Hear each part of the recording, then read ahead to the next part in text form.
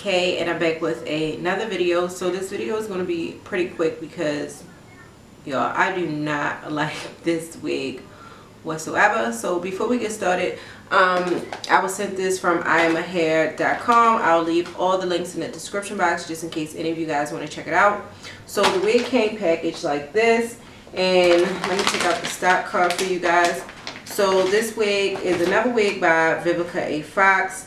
This is in the style Noma and I have it in the color 1B. So this is what the stock card looks like. Let me start by telling you the construction of this wig. So basically this is your typical construction. It has two combs in the front, a comb in the back, and adjustable straps. I do feel like this head, I mean, I do feel like this wig is big head friendly. So if you do have a bigger size head, um, this wig will be great for you. Now, if your head is on a smaller side like mine, you can always adjust your straps and I feel like you'll be good to go. Also, this wig comes as a side part and the part is on the right side. So if you're somebody that likes your parts on the right side, you'll definitely love this wig as well. Um, what else? This also is a yaki, I mean not a yaki texture.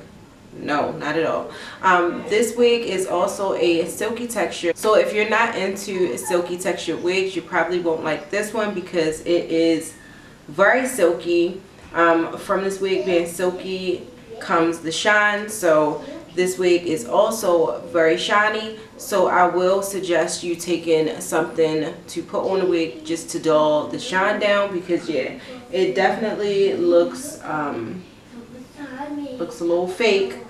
Um, but yeah this is just like a regular style wig. The density on this is in the middle. It's not too not too thick not too thin. But I feel like from it being a silky texture it makes it more flat. Like I don't know. The Vivica Fox wigs don't really come with a long part so this is all the parting that you get. And it is like a bit bulky up in here. I don't know. I don't know. The way it's constructed I don't really feel like it really looks that natural. And then like I don't know y'all. I'm like so over this wig. Also tingling and shedding this wig not tangles but it sheds so bad. Like let me see. So I got two strands here no three strands here.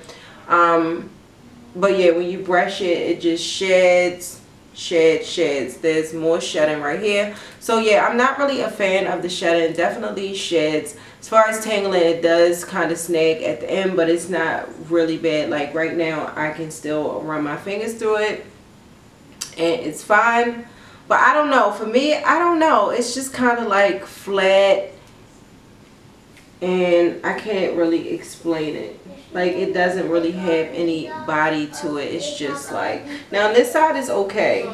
I actually like this side a little bit but still it's like still it's just like flat or something.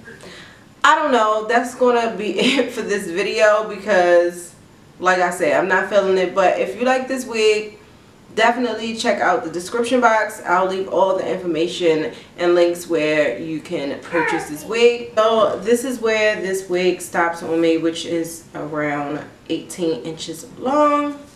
Um, so yeah, you guys tell me what you think about this wig.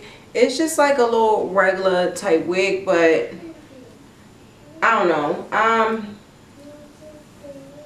not really a fan of this wig you guys. Yeah so anyway that's it for this video. If you guys have any questions feel free to leave it in the comment section down below. And i love you guys. I'll see you in my next video